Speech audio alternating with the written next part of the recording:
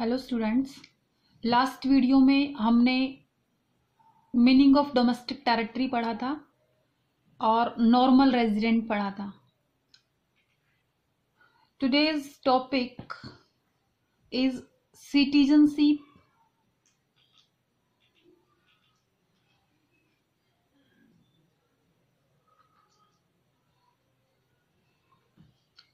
and residentship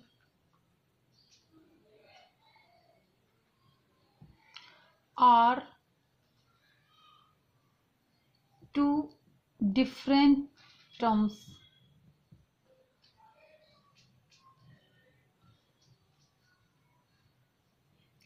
ये समझेंगे हम कि सिटीजनशिप जो होती है और जो रेजिडेंटशिप होती है बोथ आर डिफरेंट टर्म्स तो सबसे पहले हम समझते हैं सिटीजनशिप क्या होती है।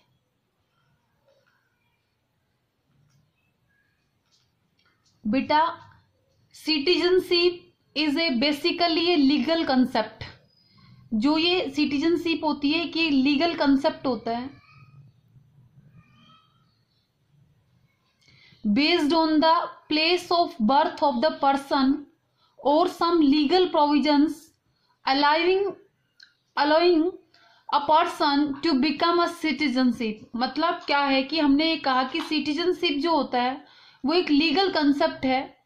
किसी भी पर्सन का अगर एक पर्टिकुलर कंट्री में जन्म हुआ है, या फिर कोई लीगल प्रोविज़न ऐसा है जो उसे अलाउ करता है वहाँ का सिटीजन बनने के लिए तो क्या हो सकता है? उस पर्टिकुलर कंट्री का सिटीजन हो सकता है। It means Indian citizenship can arise in two ways जो इंडिया में सिटीजनशिप होती है, वो टू वे से अराइज हो सकती है। The first one is when a person is born in India अगर एक पर्सन जो है, वो अगर इंडिया में पैदा हुआ है तो ही acquires automatic citizenship of India तो उसके पास क्या होगी? ऑटोमेटिकली सिटीजनशिप होगी इंडिया की. And next thing is a person born outside India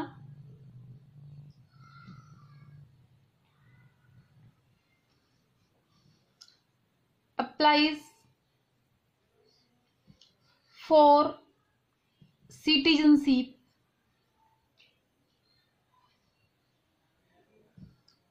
and Indian law.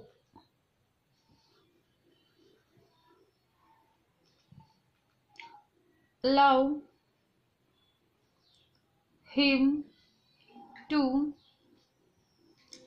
become Indian citizen. ऐसा भी हो सकता है कि एक पर्सन जो है वो पैदा बाहर हुआ हो, लेकिन इंडिया का जो लॉ है, उसको अलाउ करता है इंडियन सिटीजनशिप बनने के लिए। तो वो एक पर्सन इंडिया का सिटीजन हो सकता है। तो हमने कहा कि जो सिटीजनशिप होती है, वो एक लीगल कंसेप्ट होता है। टू टाइप से एक पर्टिकुलर पर्सन सिटीजनशिप ले सकता है। क्या तो वो पर्टिकुलर उस कंट्री में बॉर्न पैदा हुआ हो या फिर वो अप्लाई करता है सिटीजनशिप के लिए, और उस पर्टिकुलर कंट्री का जो लॉ है, उसे अलाउ करता है सिटीजनशिप सिटीजन बनने के लिए तो वो क्या हो जाएगा? उस पर्टिकुलर कंट्री का सिटीजन हो जाएगा। Next thing is residency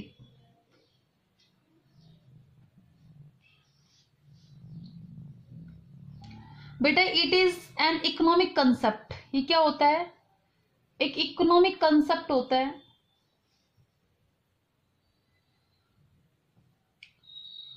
On the basic economic activity perform by a person means residentship इस बात पर डिपेंड करती है कि वो पर्सन जो है वो इकोनॉमिक एक्टिविटी कहाँ पे परफॉर्म कर रहे है. An individual is a normal resident of a country if he ordinarily reside in that country for a period more than one year अगर एक पर्सन एक कंट्री में सामान्य तौर पर एक साल से ज़्यादा के लिए रहता है, और his centre of economic interest also lies in that country और उसका जो इकोनॉमिक इंटरेस्ट है, वो उस कंट्री में लाई कर रहा है तो वो वहाँ का रेजिडेंट हो सकता है। For example an Chinese living in India एक चाइनीज़ है वो इंडिया में रहता है। For more than one year एक साल से ज़्यादा के लिए एक चाइनीज़ जो है वो इंडिया में रहता है is the normal resident of India वो एक तो वो क्या हो जाएगा? भारत का नॉर्मल रेजिडेंट हो जाएगा। However he is not a citizen of India जबकि वो भारत का सिटीजन नहीं है। As he does not hold citizenship of India क्योंकि उसके पास इंडिया की सिटीजनशिप नहीं है। It means a person can be citizen of one country एक पर्सन जो है, वो एक कंट्री का सिटीजन हो सकता है and on the same time a resident of another country तो ये जो पर्सन है, ये सिटीजन तो कहाँ का है? चाइना का। बट रेजिडेंट कहाँ का है? इंडिया का। इट मीन्स क्या कह सकते हैं हम? A person can be citizen of one country and at the same time a resident of another country एक पर्सन जो है, वो एक टाइम पे किसी दूसरी कंट्री का सिटीजन हो सकता है और दूसरी कंट्री का रेजिडेंट हो सकता है। तो हमने क्लियर किया कि सिटीजनशिप और रेजिडेंटशिप में क्या डिफरेंस होता है। I hope it is very clear to you our next topic is concept of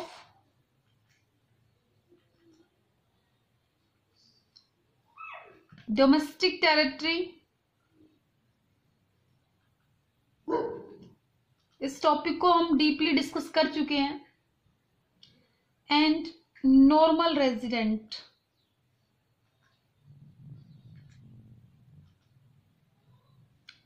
the concept of domestic territory and normal resident are important to estimate domestic product and national product बेटा, हम domestic territory और normal resident को क्यों पढ़ रहे हैं? क्योंकि हमें पता है कि हमें डोमेस्टिक प्रोडक्ट को देखना है।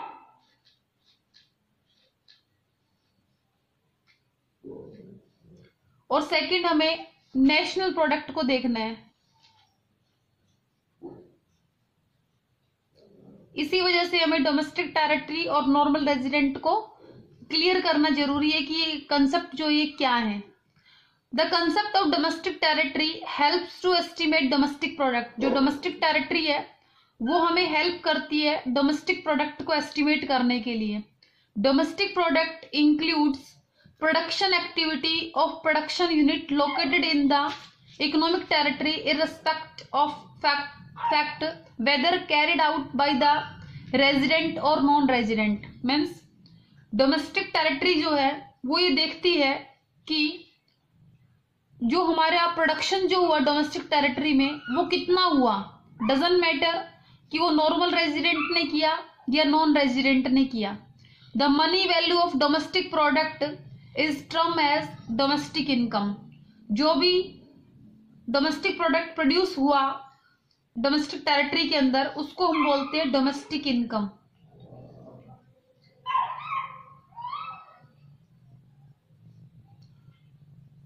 तो आप समझ गए होंगे कि डोमेस्टिक टेरिटरी जो है, उसमें जो भी प्रोड्यूस्ड प्रोडक्ट है,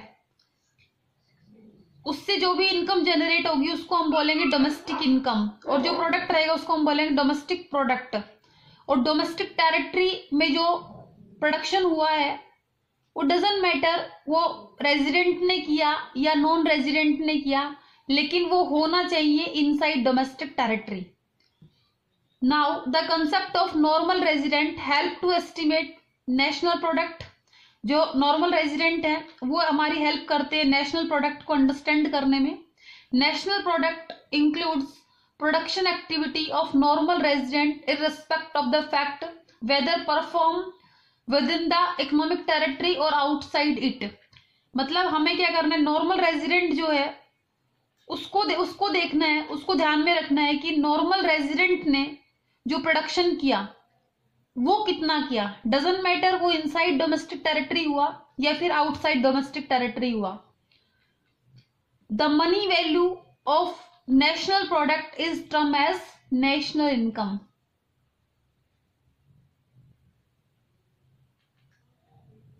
जो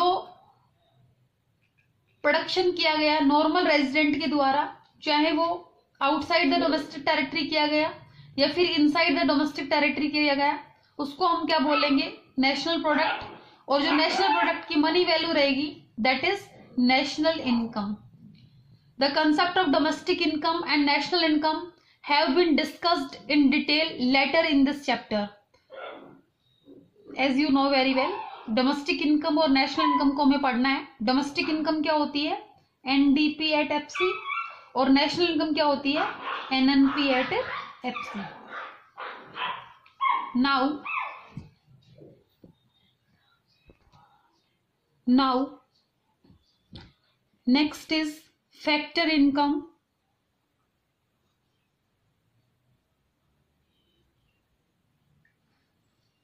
and transfer income factor income.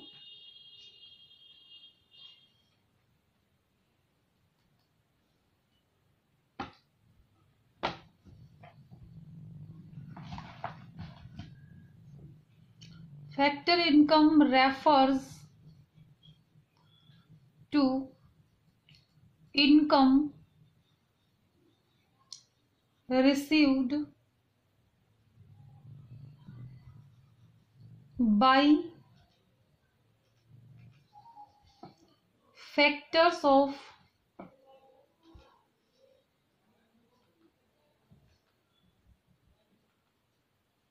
production for Zenzing factor service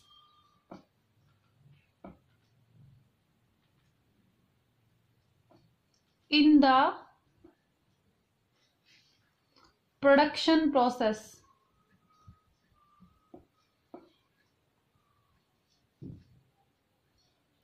As you know very well हमने बताया था कि हाउस होल्ड सेक्टर जो है, वो प्रोड्यूसर सेक्टर को लैंड लेबर कैपिटल एंटरप्रेन्योर दे रहा है। Means this is factor service by household to producer sector अब क्या होगा? हाउस होल्ड सेक्टर क्या करेगा? उसको क्या मिलेगी? फैक्टर इनकम मिलेगी फ्रॉम प्रोड्यूसर सेक्टर तो factor income refers to the income received किनके द्वारा इनकम रिसीव की गई? फैक्टर ऑफ़ प्रोडक्शन के द्वारा। क्योंकि उन्होंने फैक्टर सर्विस दी थी कहाँ पे? प्रोडक्शन प्रोसेस में।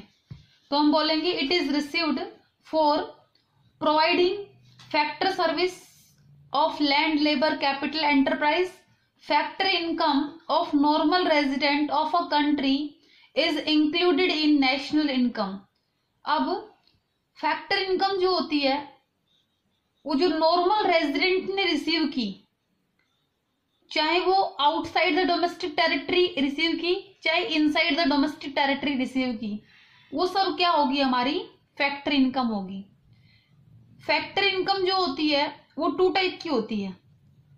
फैक्टर इनकम फ्रॉम एब्रोड और फैक्टर इनकम टू एब्रोड अब इस चीज़ को समझना है हमें।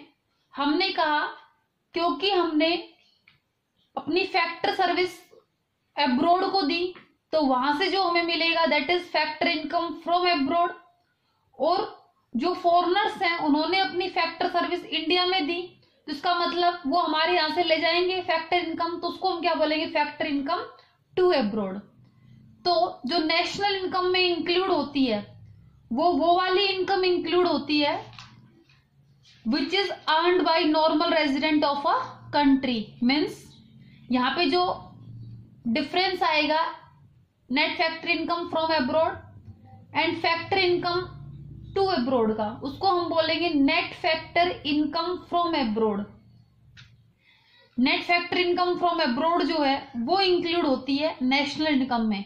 Because it is the income which is received by normal resident of a country so factor income of normal resident of a country is included in national income for example क्या होगी? Factor income क्या हो सकती है? Rent wages interest and profit factor of production are the primary inputs which are needed to produce goods and services. They are broadly categorized under four heads, land, labor, capital, and entrepreneurs. तो land को जो मिलेगा that is rent labour को जो मिलेगा that is wages capital को मिलेगा interest and entrepreneur को प्रॉफिट तो ये क्या होती है? फैक्टर इनकम होती है. फैक्टर इनकम जो होती है, उसको हम अर्नड इनकम भी बोलते हैं. Earned income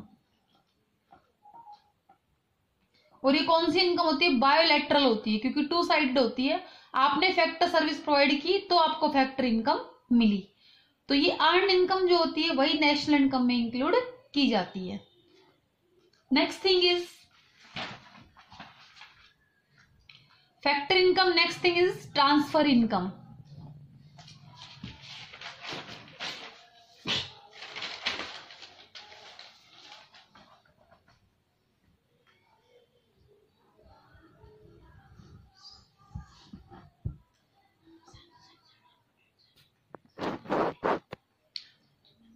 transfer income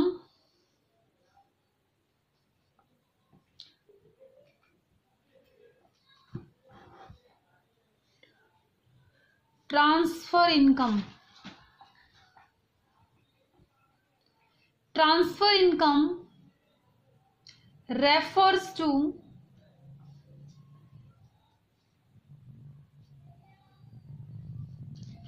income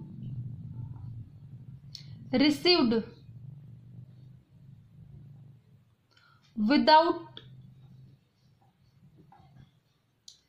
rendering any productive.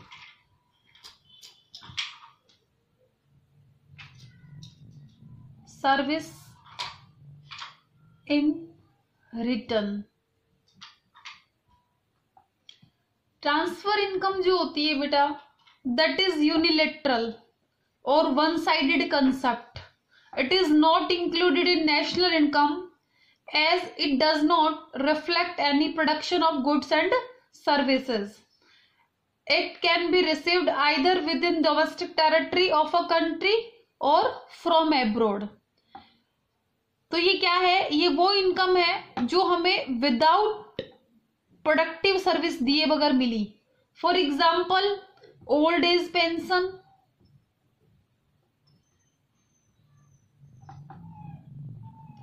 scholarship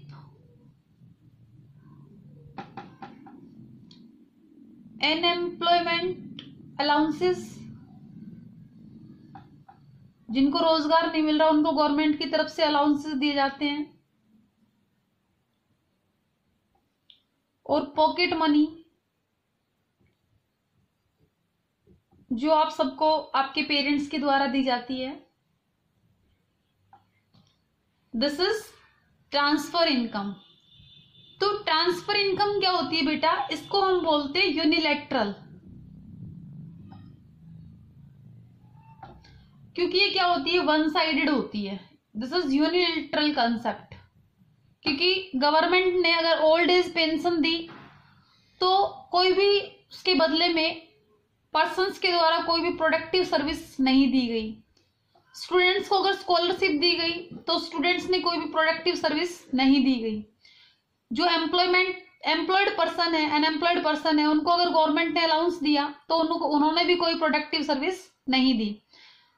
बच्चों को अगर उसके पेरेंट्स ने पॉकेट मनी दी तो उन्होंने भी कोई प्रोडक्टिव सर्विस नहीं दी बदले में तो उसको हम क्या बोलेंगे? ट्रांसफ़र इनकम अब एक बात आती है taxes received by the government जो गवर्नमेंट टैक्सेस रिसीव्ड करती है are the transfer incomes of the government as they are received without providing any productive service in return अगर गवर्नमेंट जो है, वो पर्सन से अगर टैक्सेस लेती है तो क्या हो रहा है? तो क्या गवर्नमेंट क्या बदले में प्रोडक्टिव सर्विस दे रही है हमें? नहीं दे रही। तो ये क्या बोलेंगे? इनको भी हम बोलेंगे सिमिलरली ये क्या रहेंगे? ट्रांसफ़र इनकम रहेंगे। नेक्स्ट का similarly subsidies paid by the government are transfer payment of the government और जो सब्सिडीज दी जा रही है गवर्नमेंट को गवर्नमेंट की तरफ़ से पीपल्स को इंडिविजुअल्स को इंडस्ट्रीज़ को, ये भी क्या होती है एक तरीके से? ट्रांसफ़र इनकम होती है। तो इसको हम क्या बोलेंगे? क्योंकि इसके बदले में भी हम गवर्नमेंट को कोई भी प्रोडक्टिव सर्विस प्रोवाइड नहीं कर रहे। तो दिस इज़ ट्रांसफ़र इनकम अब हमारा एक टॉपिक बनता है current transfers and capital transfers देखो करंट ट्रांसफर्स और कैपिटल ट्रांसफर्स में क्या डिफरेंस होता है? एक तो होते हैं करंट ट्रांसफर्स और एक होते हैं capital transverse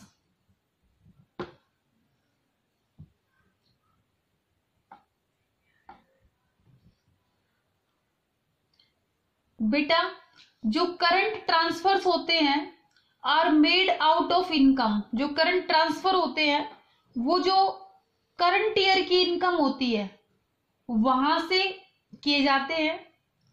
where as capital transfer जो होते हैं, वो कहाँ से किए जाते हैं? जो भी वेल्थ होती है, जो भी आपने जोड़ा है पिछली कुछ सालों में, वहाँ से आप क्या करते हो? कैपिटल ट्रांसफ़र करते हो। Current transfer are generally regular in nature जो करंट ट्रांसफ़र होते हैं, वो रेगुलर नेचर के होते हैं। जबकि कैपिटल ट्रांसफर्स जो होते हैं, वो इरेगुलर नेचर के होते हैं।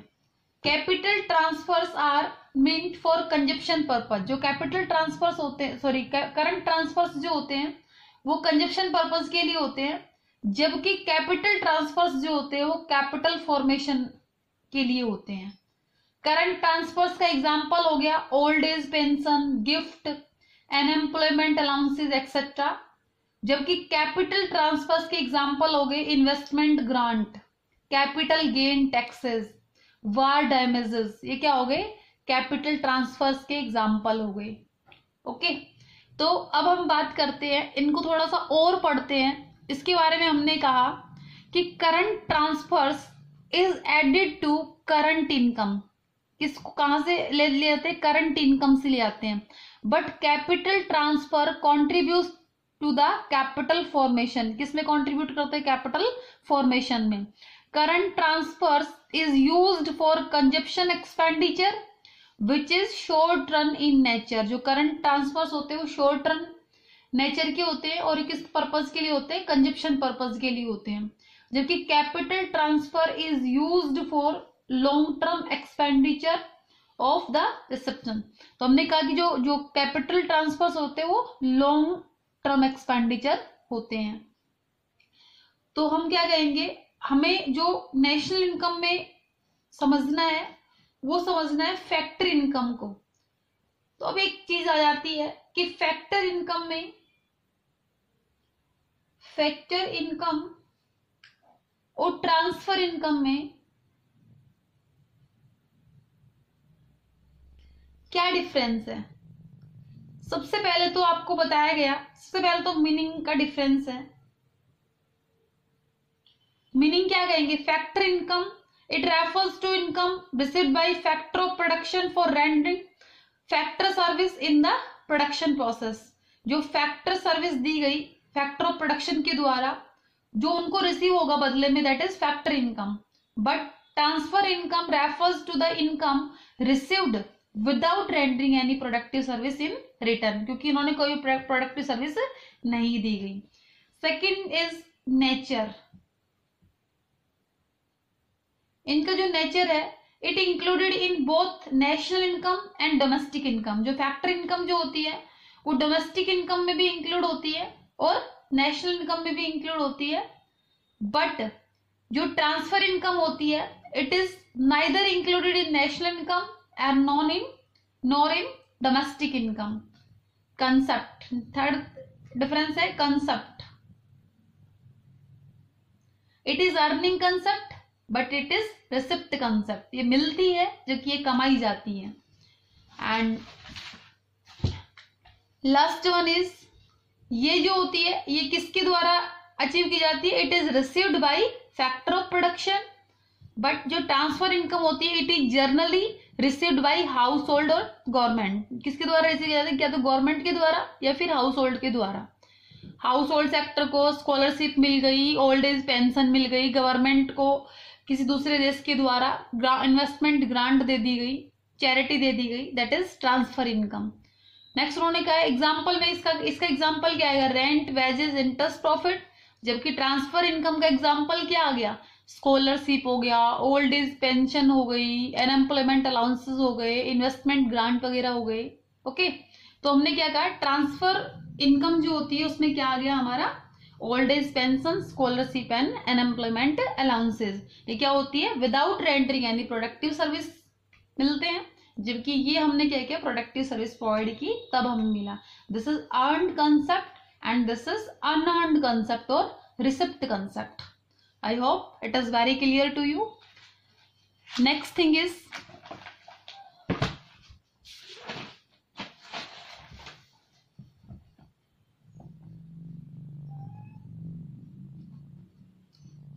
next thing is type of goods type of goods में सबसे पहले हम पढ़ेंगे final goods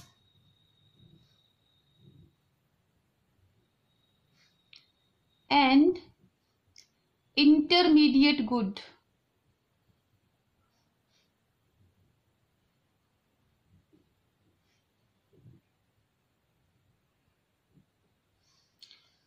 हम पढ़ भी चुके हैं। दिस इज़ ओनली रिवीजन तो आप लोगों को एक्टिव रहना है।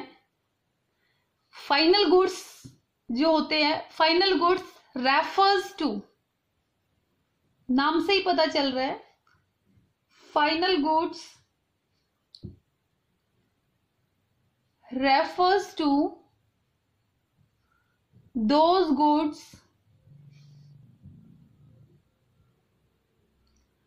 which are used either for consumption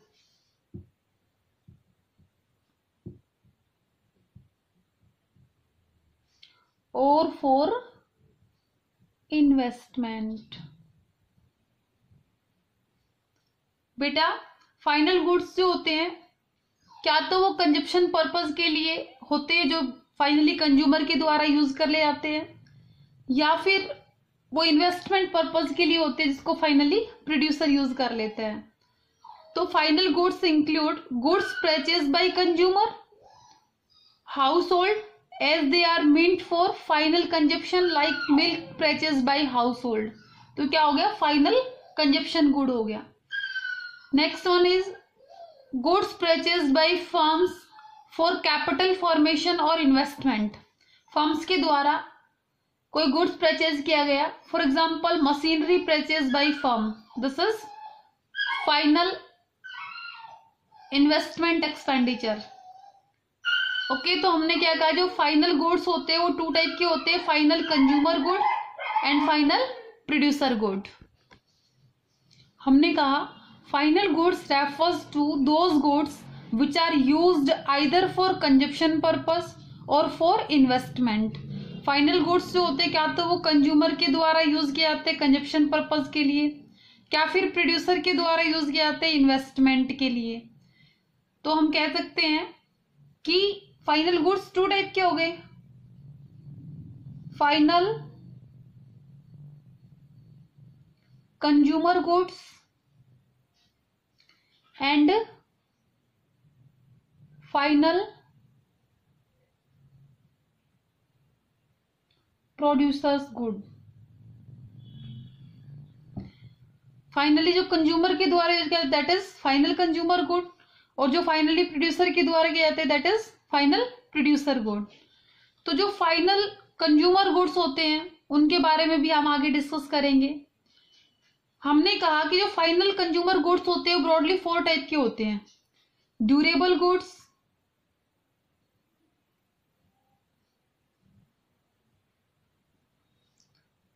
non-durable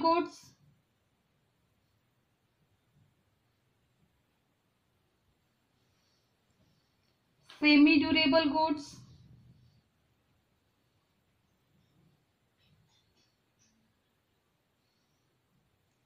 and services हमने कहा कि जो कंज्यूमर गुड्स होते हैं, वो फोर टाइप के होते हैं.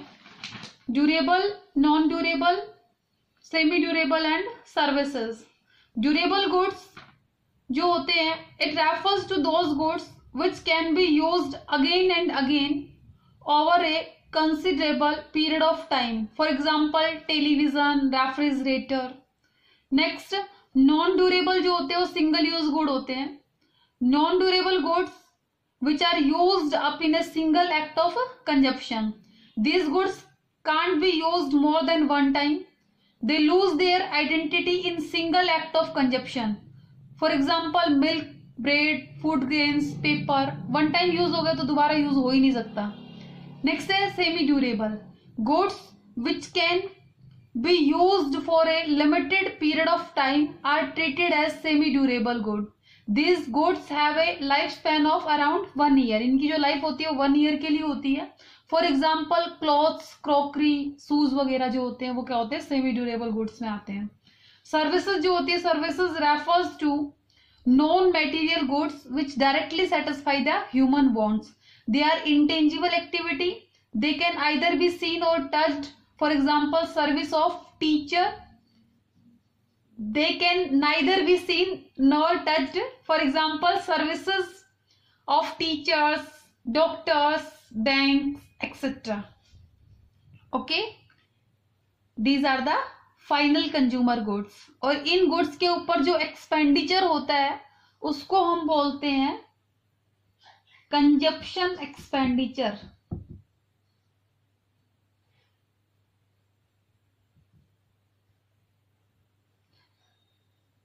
अब जो कंज्यूमर जो होता है, वो इंडिविजुअल्स भी हो सकते हैं नॉन प्रॉफिट ऑर्गेनाइजेशंस भी हो सकती हैं और गवर्नमेंट भी हो सकता है।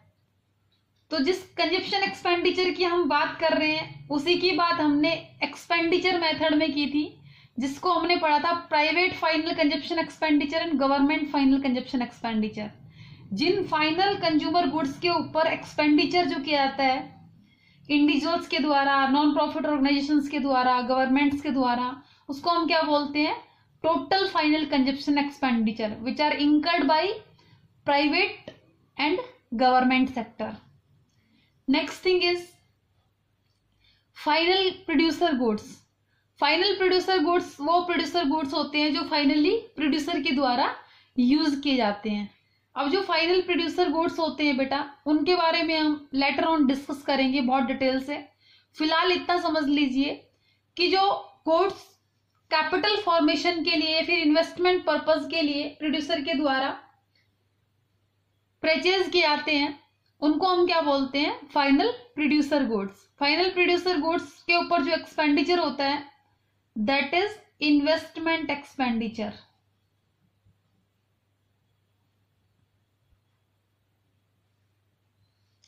तो हमने कहा कि फाइनल जो गुड्स हैं, उनके द्वारा जो एक्सपेंडिचर हाउस होल्ड के द्वारा किया गया, उसको हम क्या बोलेंगे? कंजप्शन एक्सपेंडिचर जो भी कंज्यूमर्स के द्वारा एक्सपेंडिचर किया गया दैट इज़ कंजप्शन एक्सपेंडिचर और जो प्रोड्यूसर्स के द्वारा हुआ दैट इज़ इन्वेस्टमेंट एक्सपेंडिचर तो how we calculate expenditure on final goods it is calculated by consumption expenditure plus investment expenditure when we add consumption expenditure and investment expenditure, then this value is treated as expenditure on final goods. It must be noted that final goods are neither resold जो final goods होते हैं बेटा, ना तो वो resold होते हैं nor use for any further transformation in the process of production और ना ही इनको प्रोडक्शन प्रोसेस में यूज़ करके फर्दर कोई चीज़ बनाई जाती है। तो फाइनल गुड्स जो होते हैं, वो फाइनली यूज़ कर रहे आते हैं, क्या तो कंज्यूमर के द्वारा या फिर प्रोड्यूसर के द्वारा। तो जो फाइनल प्रोड्यूसर गुड्स होते हैं, उनमें क्या कहते है? प्लांट एंड मशीनरी जो फाइनल किसके फाइनली यूज़ किसके द्वारा करते हैं? प्रोड्यूसर के द्वारा, जिनका टारगेट क्या होता है? फर्दर इनकम जनरेट करना उनसे, उनको फाइनली यूज़ करके और उनसे इनकम जनरेट करना। This expenditure is treated as investment expenditure so final goods I hope this concept is very clear to you. And next thing is intermediate goods.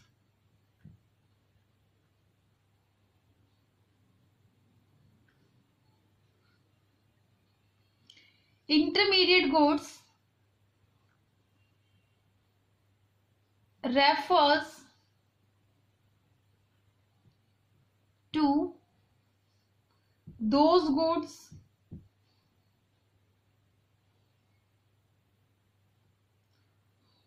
which are used either for resale or for further production in the same year हमने कहा, बेटा intermediate goods जो होते हैं, वो वो वाले goods होते हैं जिनको क्या तो रिसेल किया जाता है, या फिर जिनको यूज़ करके फर्दर प्रोडक्शन किया जाता है, लेकिन सेम ईयर में। इस चीज़ को समझना ज़रूरी है। Intermediate goods include goods purchase for resale like milk purchase by a dairy shop जो डेयरी शॉप होती हैं, उनके द्वारा मिल्क परचेज किया गया। तो उन्हें क्या करना है, उस मिल्क को अगेन रीसेल करना है। तो क्या हो गया इंटरमीडिएट गुड हो गया। Next goods used for further production अगर वो वाले गुड्स जिनको फर्दर प्रोडक्शन में यूज़ किया जाएगा for example milk use for baking sweets तो भी वो क्या हो जाएगा इंटरमीडिएट गुड्स हो जाएगा। लेकिन बेटा, ऐसा नहीं होता कि हम किसी पर्टिकुलर गुड को ये कह सकते हैं कि ये वाला फाइनल गुड है, ये वाला इंटरमीडिएट गुड है। वो डिपेंड करता है कि उसका यूज़ किसमें हो रहा है। उसका फाइनल यूज़र कौन है। Important point about intermediate good क्या इंपॉर्टेंट पॉइंट है सबसे पहले देखो। They are generally purchased by one production unit for another production unit किसके द्वारा परचेज किया जाता है? किसी एक प्रोडक्शन यूनिट के द्वारा परचेज किए जाएँगे। ठीक है? किसी दूसरी प्रोडक्शन यूनिट से। Intermediate goods remain within the production boundary ये वो वाले गुड्स होते जो अभी प्रोडक्शन बाउंड्री के अंदर हैं। दे हैव डेराइव्ड डिमांड इनकी जो डिमांड होती है बेटा, वो डेराइव्ड डिमांड होती है। अभी डेराइव डिमांड क्या होती है? A demand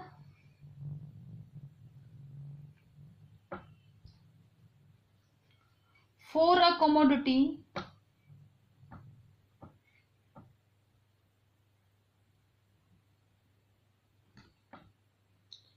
Service. Etc which is a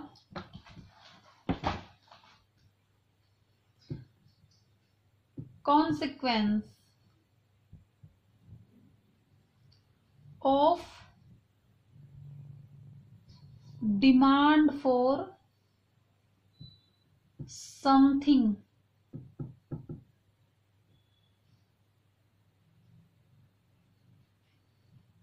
else.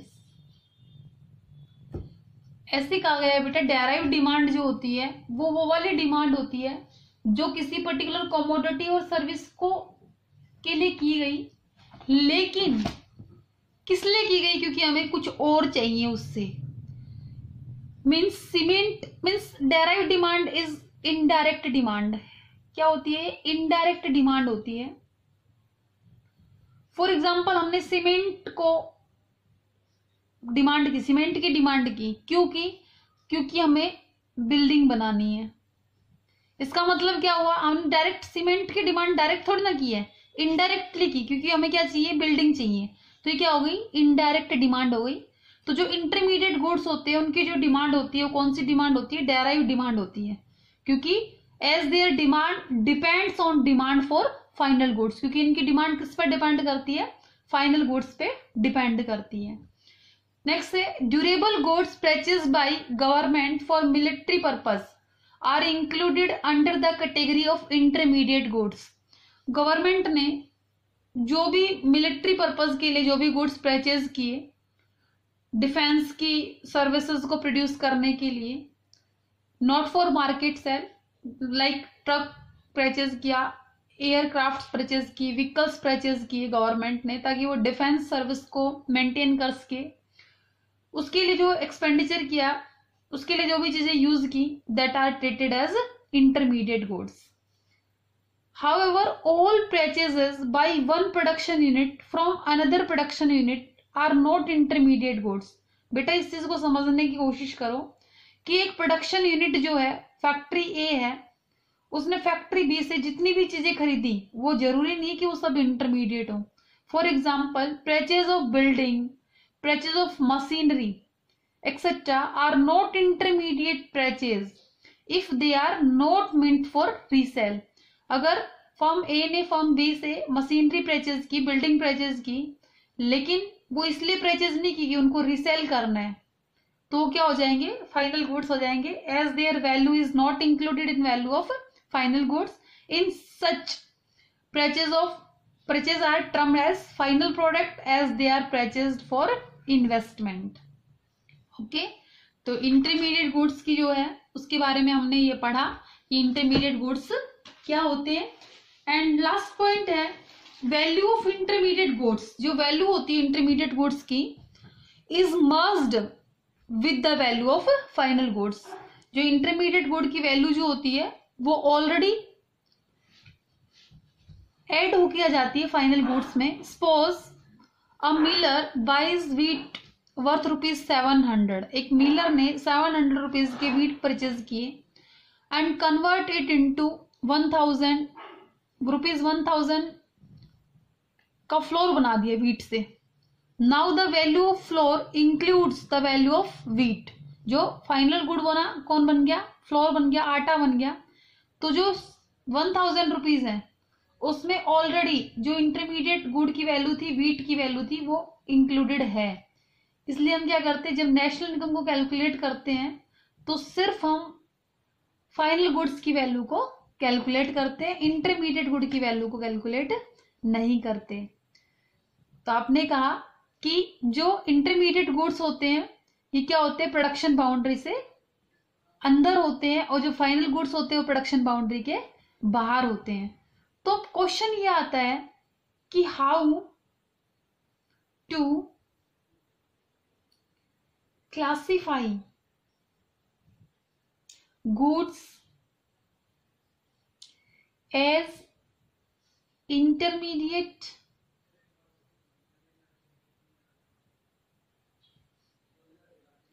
goods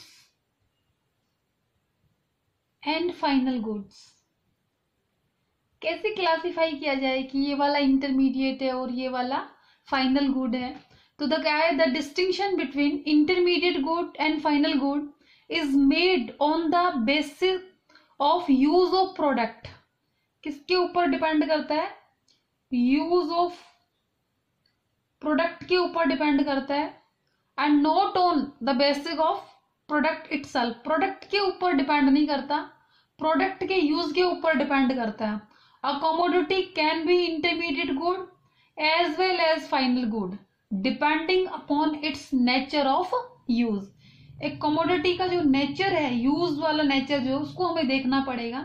For example sugar is an intermediate good when it is use by sweet shop for making sweets.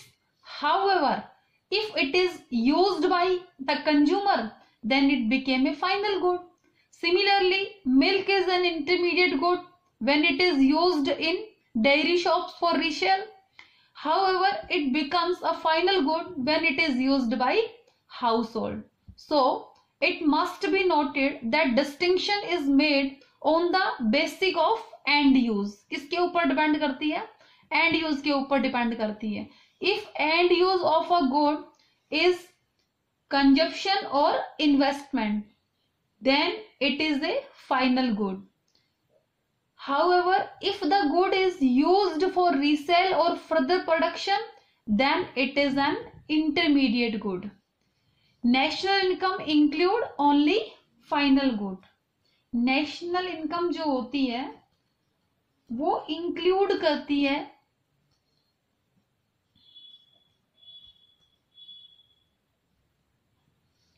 only value of final goods only final goods are included in national income the intermediate goods are not included in national income as they are already included in final goods if their value is added again it will lead to double count counting तो हम क्या करेंगे जो national income है उसमें सिर्फ़ हम final goods की वैल्यू को इंक्लूड करेंगे इंटरमीडिएट गुड की वैल्यू को इंक्लूड नहीं करेंगे। For example out of wheat and flour only flour that is final good is included in national income as value of flour already included in value of wheat जो value of wheat है, वो already included है value of flour में। So when we are calculating, when we will calculate national income then we will add only value of floor because floor is final good goods used up in the same year are intermediate goods ये बात समझने वाली है goods used up in the same year are intermediate good it should it should always be remembered that intermediate goods are used up in the same year जो intermediate goods हैं वो हमेशा उसी सेम ईयर में use हो जाने चाहिए if they remain for more than one year अगर वो एक साल से ज़्यादा के लिए अगर वो रह गए तो उनको हम क्या ट्रीट करेंगे then they are treated as final good for example suppose X limited purchase ten tons of coal in 2018 2018 में एक्स लिमिटेड जो है, उसने टेन टन्स कोल परचेज किया। लेकिन क्या हुआ कि 2018 में वो जस्ट सेवन टन्स कोल का यूज़ कर पाई। जो सेवन टेंस टंस जो कोल है, उसको हम ट्रीट करेंगे इंटरमीडिएट गुड जबकि जो थ्री टंस बच गया, उसको हम क्या ट्रीट करेंगे? फाइनल गुड क्योंकि क्योंकि वो सेम ईयर में यूज़ नहीं किया गया so three tons coal will be treated as final good and will be included in national income okay then our next topic is final goods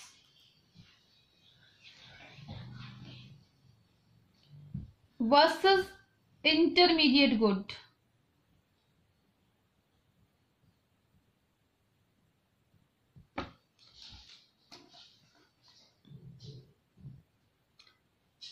Final goods refers to those goods which are used either for consumption or for investment. Intermediate goods refers to those goods which are used either for resale or for further, produ further production in the same year. Final goods are included in national income and domestic income but intermediate goods are neither included in national income nor in domestic income. Final goods are ready for use by their final user. No value has to be added in to the final goods. But intermediate goods are not ready for final use. Some value has to be added to the intermediate good. Production boundary. They have crossed the production boundary final goods and intermediate goods are still within the production boundary. Milk purchased by household for consumption, car purchased as investment. This is final goods. Milk purchased by dairy shop for resale, coal used by factory for further production. It is intermediate good. Second thing is value addition क्या होता है बेटा value addition को समझो value addition का मतलब होता है जब जब एक प्रोडक्ट जो है उसका ट्रांसफॉर्मेशन होता रहता है जब तक जैसे फॉर एग्ज़ाम्पल धागे से आपने कपड़ा बनाया कपड़े का थान बनाया कपड़े के थान से आपने शर्ट बनाई तो जैसे जैसे उसकी यूटिलिटी बढ़ती जाती है, उसकी वैल्यू में क्या होता जाता है? इंक्रीज होता जाता है। या फिर एक प्रोडक्ट जो है वो बन के तैयार हो गया, वो होलसेलर के पास गया आफ्टर दैट रिटेलर के पास गया और फिर बाद में कंज्यूमर के पास जाएगा। तो जो वैल्यू एड होती रही, उसको हम क्या बोलते हैं? वैल्यू एडिड बोलते हैं। जो जो वैल्यू एडिशन होता है, वो ओनली इंटरमीडिएट गुड्स में होता है फाइनल गुड्स में वैल्यू एडिशन नहीं होता। और जो इंटरमीडिएट गुड्स होते हैं, वो प्रोडक्शन बाउंड्री के अंदर होते हैं। क्या तो उनसे फर्दर कोई प्रोडक्शन हो रहा है, या फिर उनमें वैल्यू एडिशन हो रही है। लेकिन फाइनल गुड्स जो होते हैं, ना तो उनको, उनसे कोई फर्दर प्रोडक्शन होता है और ना उनमें वैल्यू एडिशन होती है। तो फाइनल गुड्स और इंटरमीडिएट गुड्स को आपने अच्छे तरीके से पढ़ा। हमारी जो बुक है, उसमें बहुत सारी एक्सरसाइजेस दी हुई हैं, जिस, जिनके बेस पे हम ये डिफाइन कर सकते हैं कि इंटरमीडिएट गुड क्या होते हैं और फाइनल गुड क्या होते हैं?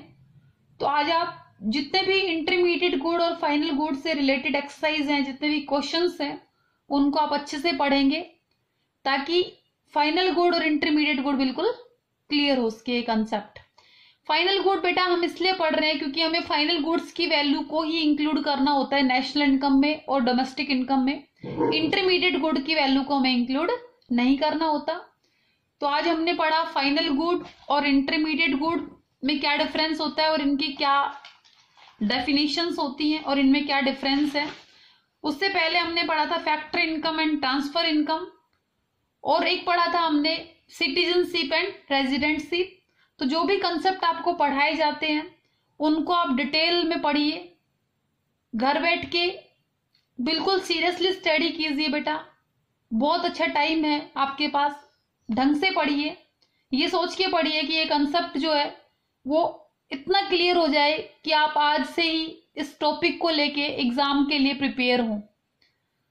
I hope you are understanding me